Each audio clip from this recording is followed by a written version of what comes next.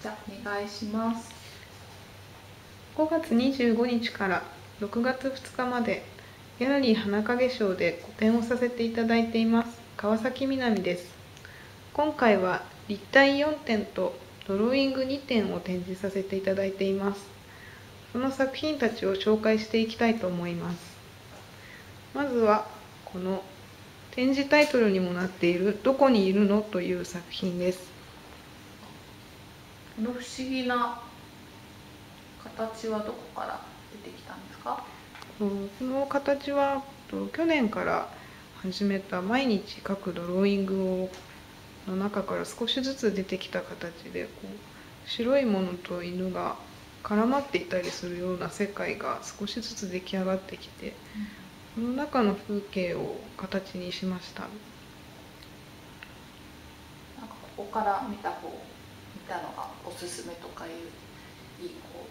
うポイントありますか？とまずこの子はやっぱり顔が結構気に入ってるので正面から見て目が合うように見てもらえると犬の可愛らしさなど分かるのではないかなと思います。またちょっと見づらい字ではあるんですけど耳の穴なども作っていてこういった細かい部分も見て楽しんでいただけたらと思います。肉球や爪も作り込んでいます。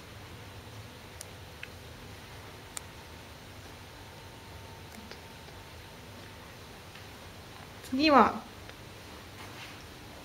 自分は今どこにいるのかという作品です。同じような白いものにこう挟まっている犬なんですけれどもこれはなんか何かを思っているんですかこの犬は。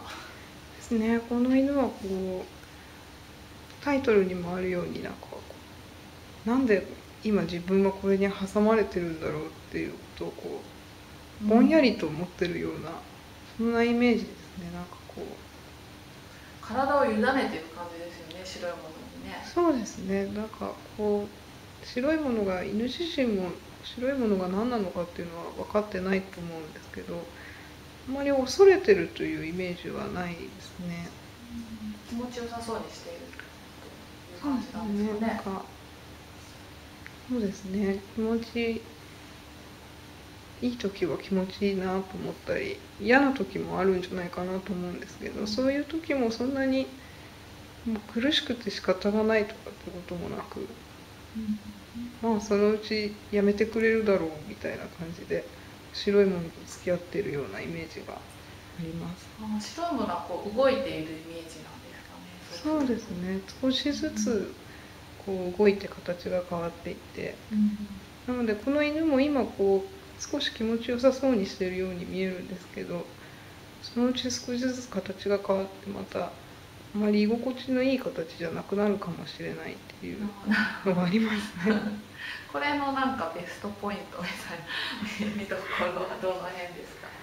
これはそうですね。これはこの子の口がちょっと半開きになっててベロがちょっと出てるところが気に入っています。なんかこの柔らかい白いものの間にこううっすらと差し色がしてあるっていうのはそれは何か意味があるんですか？とこの白いものに色がついているのはこう白いものもあの少しずつ動いていたりするようなこう生き物というイメージが自分の中にあって、うん、のその白いものの体温なのかそういったものを感じられるかなと思い、うん、少しピンク色を入れて温かみを出してみました。